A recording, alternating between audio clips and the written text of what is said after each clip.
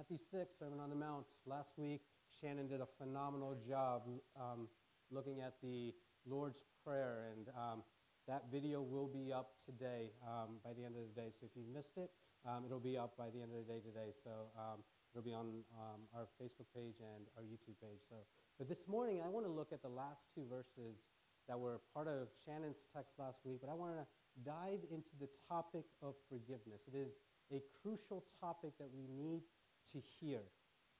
C.S. Lewis, you've probably heard me quote him from this stage a lot, but he once wrote tongue in cheek, he said, We all think that forgiveness is a lovely idea until we actually have to forgive someone. A young man by the name of Simon would agree with C.S. Lewis. Simon's family was rounded up by the Nazi army and sent to death camps, concentration camps. 89 relatives of Simon were murdered in the Holocaust. As far as he knew, his wife was one of them. He himself barely escaped death several times while being funneled through six different killing centers by the Nazis. He ends up at a Lemberg concentration camp, removing boxes of rubbish from a military hospital, when one day a nurse walks in and she's looking for a Jew. Any Jew will do, and Simon was chosen. So she leads this Jew to, to the hospital room of a Nazi soldier. And this Nazi officer made a request that he wanted to talk to a Jew before he died. And the nurse leads Simon there, and the officer orders Simon to sit at his bed. He introduces himself as Carl Seed, and he said that he was raised a Catholic and he joined the SS Army against the wishes of his family. And he then proceeded to give his final confession to this Jew as if he was his priest. He spared none of the horrifying details where of, of his years of killing people of the Jewish community. He shared about the day that he found a huge house that was housing about 300 Jewish people and how he ordered his men to set the house on fire and how he described the agonizing screams of the women, the children, and the men that were burning alive on the inside. He confessed that he personally shot every man, woman, and child that tried to escape from the house. And when he finished his confession, the room was deathly still. Simon shook and he teared up, hearing with his hatred toward this officer. But the officer wanted absolution. For him, Simon sat in the place of every Jew he had dehumanized or murdered. He whispered, Jew, will you forgive me? Jew, will you forgive me? Simon sat there for several seconds looking down at the officer and then got up and walked away without saying a single word, leaving Carl C. to die in agony without absolution. A few years later, Simon's camp was liberated by the Allied forces. He survived the last year on just about 200 calories a day, and he was reunited with his wife, but the rest of his family and all of his relatives were murdered. And Simon began channeling his hatred to becoming a celebrated Nazi hunter. Until he died at the age of 96, he spent the rest of his life fighting anti Semitism and keeping the memory of the Holocaust alive. Yet Simon was constantly haunted by the encounter in the hospital room with the SS officer. He constantly tortured himself with questions about whether he was right in refusing to forgive this man. So in 1976, he tried to bury the ghost of the officer, and he wrote a book called The Sunflower. And the subtitle of the book is The Possibilities and the Limits of Forgiveness. And in this book, he asked the questions that haunted him after his refusal to forgive Carl Seed. And in the book, 53 distinguished people of that time responded to Simon's questions. They included theologians, jurists, human rights activists, Holocaust survivors, victims of other genocides. The book is a fascinating read, but it proves one thing there is no easy answer to forgiveness.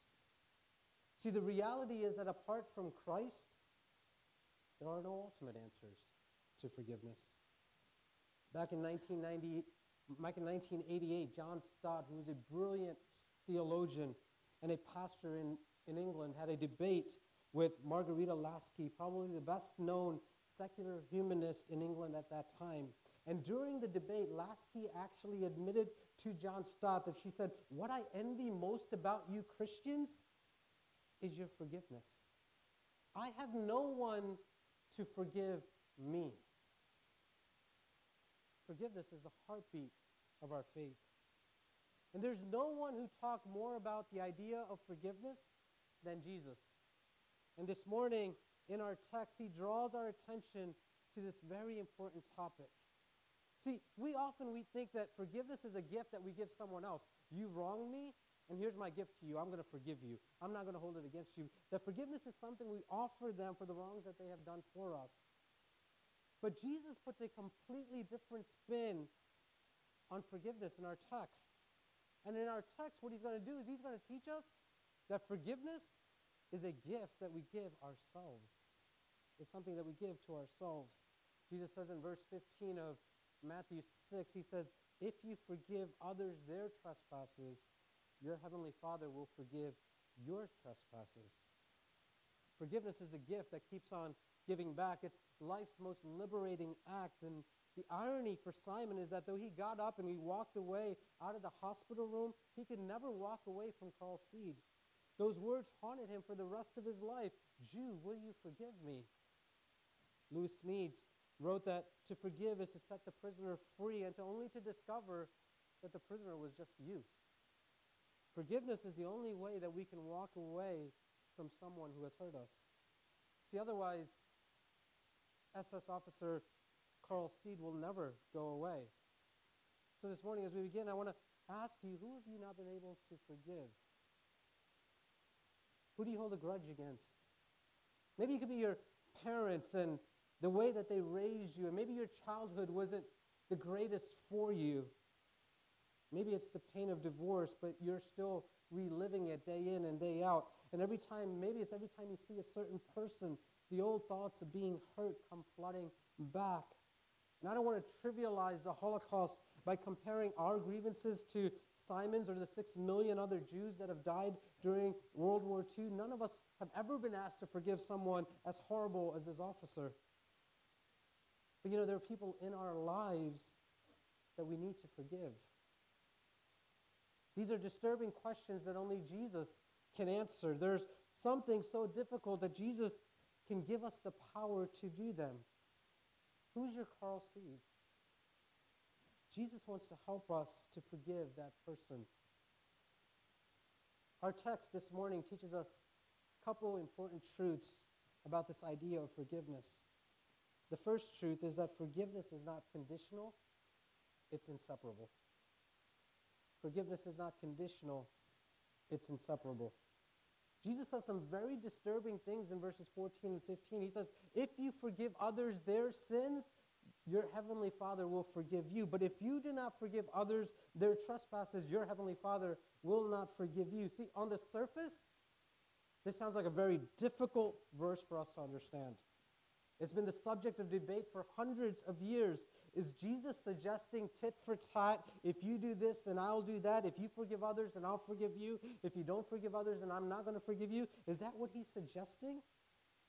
Just a few verses earlier, when what we looked at last week, Jesus said that we should pray, forgive us our debts as we forgive those who uh, forgive those, uh, forgive our debtors. See, taking these at face value, the logical person would argue that Jesus is saying that God will only forgive us in as much as we forgive those around us. But can I suggest to you to think like that would contradict the rest of Scripture that teaches unconditional grace? See, on the cross, Christ died for all of our sins our past sins, our present sins, our future sins. Even as his executioners were mocking him, Jesus would cry out on the cross, Father, forgive them because they don't know what they're doing. He forgave unforgiving people. The Apostle Paul would write it this way in Romans. He would say, While we were yet sinners, Christ died for the ungodly. God's forgiveness preceded us becoming forgiving people. God's grace preceded us becoming graceful people. God's mercy preceded us becoming merciful people. Colossians 3 tells us that just as God forgave you, you also should forgive others. Just as God forgave you. Past tense. It is already done. You are forgiven. But just as He has forgiven you, you should forgive others. Future tense, something you need to do, but you haven't done yet. See, we forgive because Jesus has already forgiven us. We don't give grace to get grace, we give grace because we've already received abundant grace. See, God's forgiveness is not conditional on our forgiveness, but God's forgiveness is inseparable from our forgiveness. One cannot exist without the other. They're like Siamese twins. You cut one from the other, either one or both will die. Jesus taught us that the greatest commandment ever is to love the Lord your God with all your heart, with all your soul, with all your mind, and with all your strength. But then he immediately says that the second greatest commandment is to love your neighbor as yourself. Loving God, loving neighbor, they're inseparable. Listen, unless you experience God's love, you will never know how to love your neighbor. But unless you love your neighbor, you've never really loved God. They go together. See, in Israel, there are two great lakes that are fed by the Jordan River. The first is the Sea of Galilee, where the shores of the Sea of Galilee, they're lush, the waters are full of fish, and the shores are dotted with communities and cities. The Jordan River flows from the Sea of Galilee into another sea called the Dead Sea. The Dead Sea is a polar opposite of the Sea of Galilee. It's lifeless. If you drink of its water, you will die. There are no cities or people living around the Dead Sea. What's the difference between the two seas? What the Sea of Galilee takes from the Jordan River, it pours back out. But what the Jordan what the Dead Sea takes, it keeps it for himself. There's an entrance, but there isn't an exit. That's why it dies. In the same way, what we take in from God is designed to flow out from our lives. If it doesn't, we're like the Dead Sea. We will spiritually die. This is what Jesus is saying in these two verses. Again, unless you experience God's love, you will never be able to love your neighbor. But unless you love your neighbor, you never have, you've never really loved God. Forgiveness, forgiveness isn't conditional, but it's inseparable. You forgive because you've been forgiven. It flows out of you. Secondly, Jesus teaches us that forgiveness is letting go. What's forgiveness? Jesus uses the same word in verses 14 and 15. He says, Forgive others their trespasses. The Greek word there for trespass is a combination of two words that literally means to fall along the way, to fall backwards, or to fall short. You have a friend and he promises to keep a secret, but falls short on his promise. You have a husband that makes a covenant to be loving and faithful, but fails on his commitment. The disciples fall by the wayside on the way to the cross. People fail at their job. They fall short of our expectations. Instead of watching our backs, the people who are supposed to protect us, provide for us, and pour into us, they have abandoned us and left us by the wayside. And that betrayal devastates us. Trespasses are so destructive. As sinners, we all fall short. We all fall down. We all fall by the wayside more times than we want to admit. It's debilitating, it's painful, and it leave, leaves wounds that sometimes last for a lifetime. How do we deal with those who fail us or pull us down? Jesus says twice in our text that we are called to forgive them. The word forgive means to put something away and lay it aside. The best definition is to let go and walk away. Isn't that how Jesus deals with us? The psalmist writes in the 103rd Psalm that as far as the east is from the west, so far have you removed our sins against us. Psalms 38, he says, You've cast all of my sins behind my back. Isaiah 43 says, God says, I will remember, I will not remember any of your sins. Isaiah 42, I have blotted out all of your transgressions. Micah praises God in chapter 7 of Micah with these words, says, You will cast all of our sins into the deepest seas. But it's hard to walk away from our hurts. It's hard to walk away from people that have wounded us. Martin Luther wrote that forgiveness is God's command. See, I think of Simon's refusal to forgive the officer. I'm reminded of another victim of the Holocaust. Her name was Corrie ten Boom. She was a Christian, but her family would protect Jews in their Dutch home. They were caught one day, and they were thrown into concentration camps.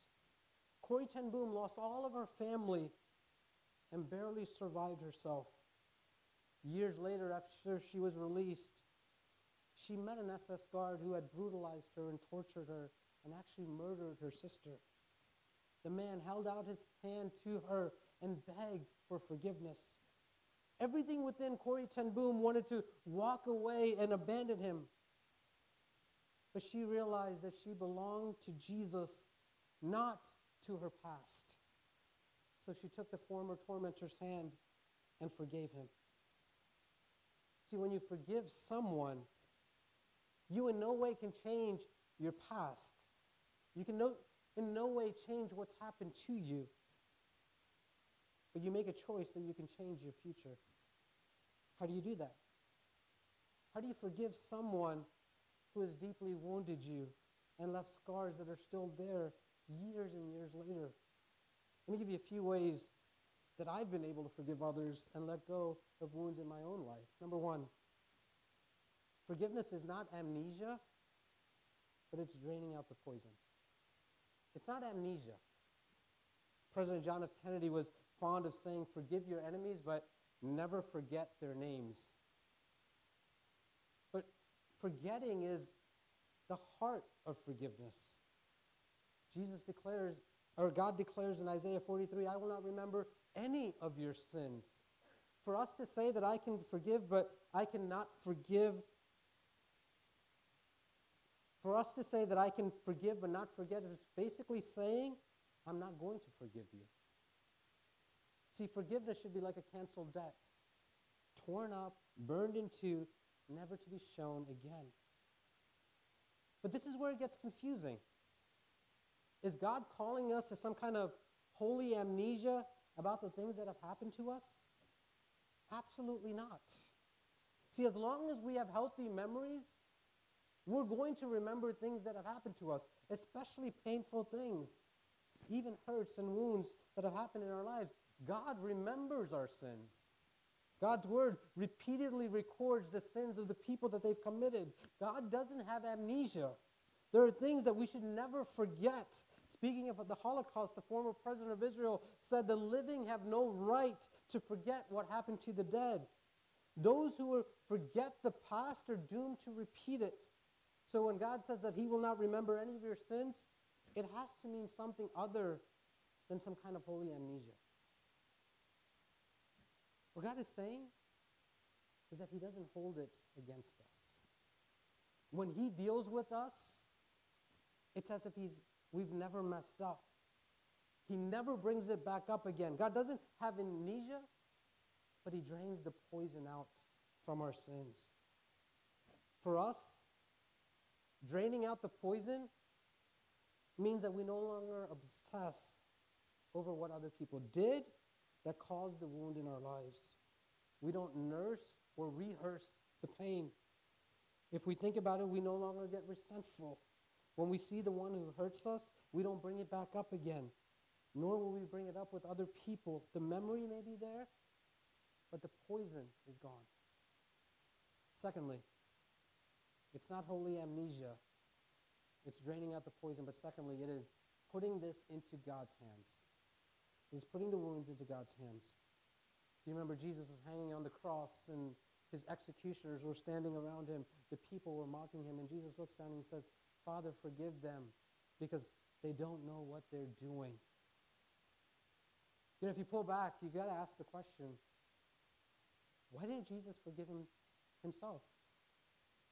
You see, throughout scriptures, Jesus would say, I forgive you, or your sins are forgiven. But why, in this instance, does he hand this forgiveness off to God? Why doesn't he just say, Your sins are forgiven, I forgive you? I forgive you for driving these nails through my hands and my feet. I forgive you for mocking me instead of worshiping me as your creator and your God. He was God. He didn't need to ask the Father to forgive these people. Well, why does God, Jesus say to the Father, You forgive them? Why does he do that? Could it be that Jesus had more important things to deal with that day than those who were abusing him? He was about to have the sins of the world, my sins and your sins, dumped on him. He was about to endure hell himself, and he was about to die to redeem a world of lost sinners. Listen, all of our history, all of our story hung on the balance of what Jesus was going to do that day. Maybe Jesus was saying to the Father, You deal with their sins because I'm occupied with something of infinitely greater worth. I've got bigger things to worry about. Can I suggest to you that the same is true for us? God has called us to be part of a redeeming God has called us to be part of redeeming a lost world. But we waste our time by shooting cannons at mosquitoes. The greatest strategy that the devil will use is to keep us preoccupied with lesser things. We waste untold hours and channel precious energy into fighting with each other, nursing our wounds, obsessing how other people have offended us, rehearsing past pains, and taking up other people's time whining and complaining nonstop until we've worn ourselves out and we've worn other people out.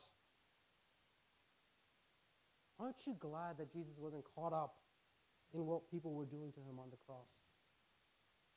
Otherwise, he never would have gotten to the infinitely better thing of accomplishing our salvation and making us a part of his family. Guys, church, we are called to be like Jesus. And this morning, I want to encourage you get over the lesser things.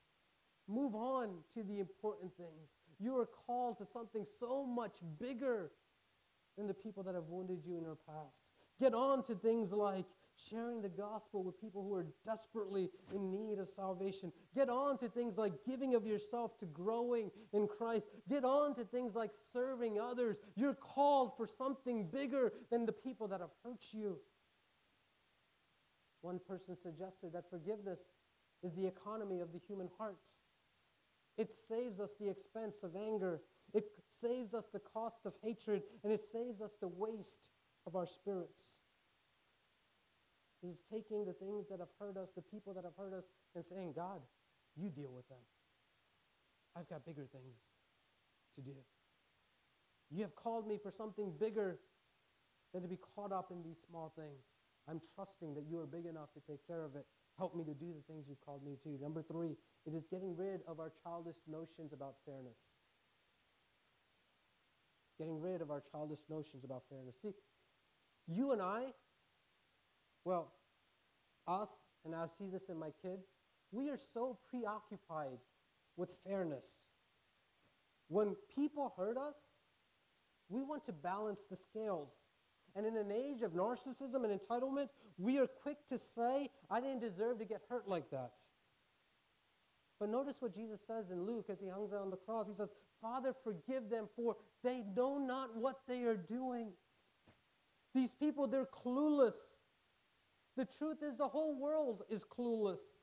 Sin has rendered people blind and deaf to God, taken away their hearts of flesh, and instead put a heart of stone in them. They've made them dead to spiritual things. Not only has sin messed up people, but it has twisted everything that people touch. Sin causes religious people to plan and plot the death of Jesus. It causes civilized people to crucify Jesus on a cross. They don't know what they're doing. Listen, life isn't fair.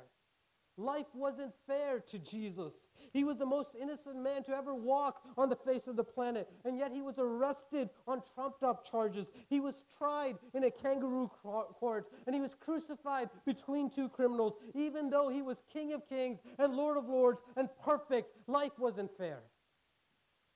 Life isn't fair. People are not fair. You are not fair.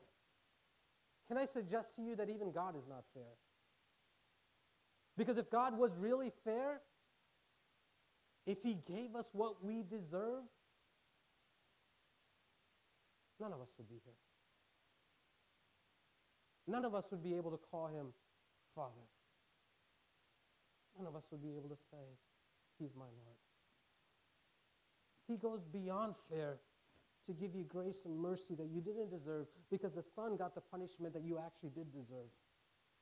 The truth is, if the world was fair and you got what you really did deserve, you would have been beat up every minute of your life. So when someone hurts you, say with Jesus, Father, forgive them because they don't know what they're doing. And then move on to becoming the Christ like person that God has called you to be. Number four, it's understanding the human condition.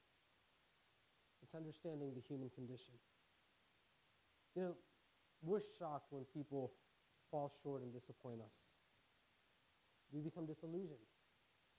How can they do that to me? How could he hurt me like this? All that I did for them, how could they treat me like this? The pain of what others do to us is hurtful enough. But the disappointment that we have in them is even worse. Nothing disillusions like the loss of innocence to find out that they weren't the people that, that we thought them to be. What's worse is the anger we feel toward ourselves because we were so stupid to not see it's coming. But again, Jesus wasn't surprised. Hear these words again Father, forgive them, for they know not what they're doing. He understood the fallen condition of every son and daughter of Adam and Eve. He knew that even religious people were capable of killing their God, that the Romans who prided themselves on justice could crucify an innocent man, that the disciples could betray, deny, and bail out on their Savior. When you understand your own sinful condition, you will have the humility to forgive the sinful condition of others. You won't throw stone at other sinners because you know that you yourself are not without sin. You'll be less, less naive and less idealistic and therefore less prone to disillusionment and disappointment when others let you down. You need to understand that you are with sin. You're fallen. We're all messed up. Number five, it's realizing the redundancy of vengeance. Realizing the redundancy of vengeance. God would say in Romans 8, It is mine to avenge, I will repay. See, when people hurt us, we want to get even, so we punish them. Listen, but if those who hurt us are Christians,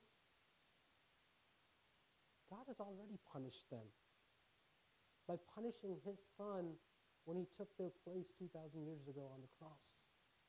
On the cross, Jesus was punished in our place for every bad thing we've ever committed to someone else.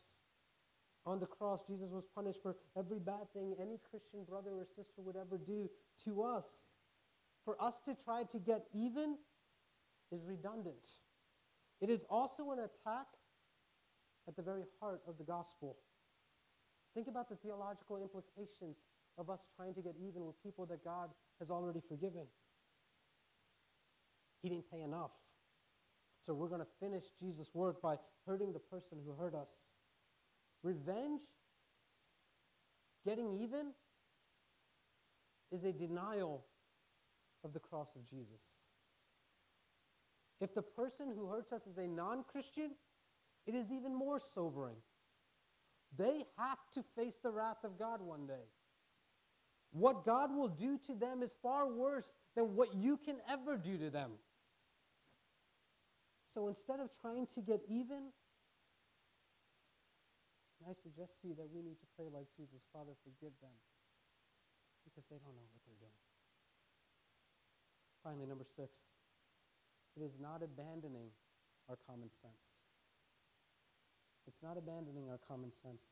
Let's go back to the words of Jesus in Matthew 6. He says, Twice the word forgiveness is used. We saw that the word, the Greek word there means to let go of the thing that wounded us and walk away from it. For Jesus, it meant to put it into the Father's hands and get about the business for which he came into the world for. See, this is where I want to deal with the misconception that we have about forgiveness. Some people think that it means going back to the way things were before. Guys, God isn't calling us to stupidity. He isn't telling us to abandon common sense or to perform a frontal lobotomy in the name of grace. Listen, I may forgive someone who embezzled money from me, but I'm not going to turn around and give him my ATM card with my PIN and say, Here, take my money. God's called us to be smart. The fact that I forgive someone doesn't mean that I allow myself to be betrayed another time or abused again or put my children in danger or put them back in a position or authority where they can do damage to other people. The fact that I can forgive a person doesn't necessarily mean that we can have the same friendship that we had before. Yes, I've got to forgive, I've got to move on, but it may not be wise, it may not even be godly to go back to the way things were before. Forgiveness can be given in a moment, but trust takes time to rebuild. Sometimes trust is never restored, and that's okay too. Remember, we're not called to amnesia, we're called to drain the poison. See, it is at this point of forgiveness that we are confronted with the radical nature of the gospel. See, most of us like Jesus as our Savior, but we're terrified of Him as our Lord. Yet Jesus is uncompromising in His talk about forgiveness on the Sermon on the Mount. He demands that we become like him, that we forgive those who wound us the same way he forgave those who drove the nails through his hands and through his feet. And let me remind you why he saved us. The Apostle Paul would write in Romans 8 For those he foreknew, he also predestined to be conformed to the image of his Son. He has saved us so that we become image bearers of Jesus. We have been saved to become like Jesus. Listen, Jesus wants a lot of brothers and sisters who look and act and talk and walk like him. It's not safe to confront our pain and those who caused it. It's not easy to forgive and move on as if nothing happened. It's not easy to know what to do when SS officer Carl Seed puts you in a difficult spot. Corrie ten Boom had to climb up a cross and die to her past when the SS officer asked her for, to forgive him. This was the man who murdered her sister. Who do you have to forgive? What grudge do you have to bury at the foot of the cross? See, it would be easier for you to say to stay safe in a warm womb. But Jesus calls us to a new birth that is a radical new lifestyle. See, we wish we could have ecstasy. But can I suggest to you that Jesus gives us something so much better? He gives us transformation. Forgiveness is the gift that you give yourself. See, forgiveness is humanity's deepest need. It is our highest achievement. This morning, may Jesus, may people see Christ in us so that they would want Christ in themselves. This morning, we come to the table. This table speaks day in and day out that we are forgiven people. Not because we did something right to deserve God's forgiveness. Not because we were the best people out there. Not because we somehow figured this God thing out. But while we were yet sinners, when we were wandering and enemies of God, when we had no desire for God, He sent His Son to die and to forgive us. We have been forgiven of much. We have been forgiven incredibly. And our call as followers of Jesus is just as you have been forgiven, go now and forgive.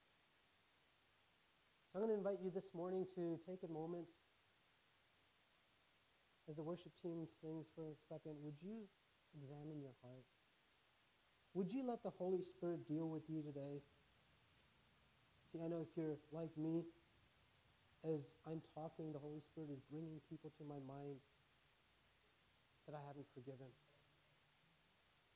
people that I want nothing to do with, people that I want to keep away. This morning, would you let the Holy Spirit deal with you? Would you ask Him for grace to forgive?